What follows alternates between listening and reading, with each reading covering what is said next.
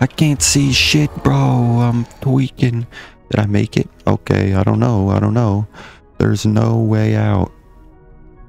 Are you moving, homeboy? Are you, you running in place? Okay, bruh. think I'll just go back then. I think I'll just go back then. You know what? This place wasn't so bad. Oh, Jesus, man. Fuck me. I I genuinely was not ready for this game, bro. This shit is fucking terrifying. My god.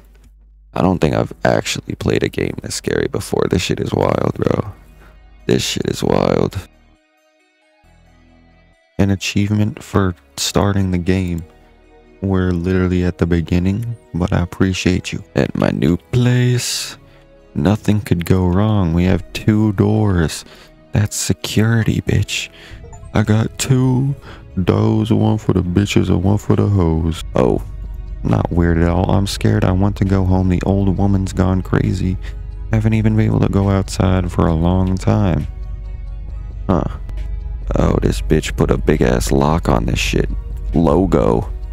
Damn, bro, she brought the off brand ass lock. Give the bald man a kiss. Alright. Be on my way. Key. Alright, homeboy. You may wanna, you know, you know, move it with your ass, boy. It doesn't fit. Does it fit up your ass, son? Does it fit up your ass, son? Hello there, ma'am.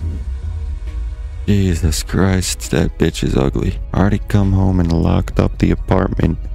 You think, mate, you think she's locked up the apartment, mate. Astute observation that was, brother.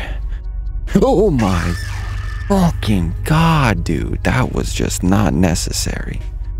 That was just not fucking necessary, bro. Jesus Christ, you almost fucking killed me. Is Mike Dean producing a track upstairs, bro? Calm down. Calm down, Mike. Alright, it's not that deep, bro.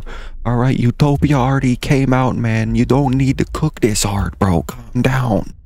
Yeah, alright. Alright, man. You know what?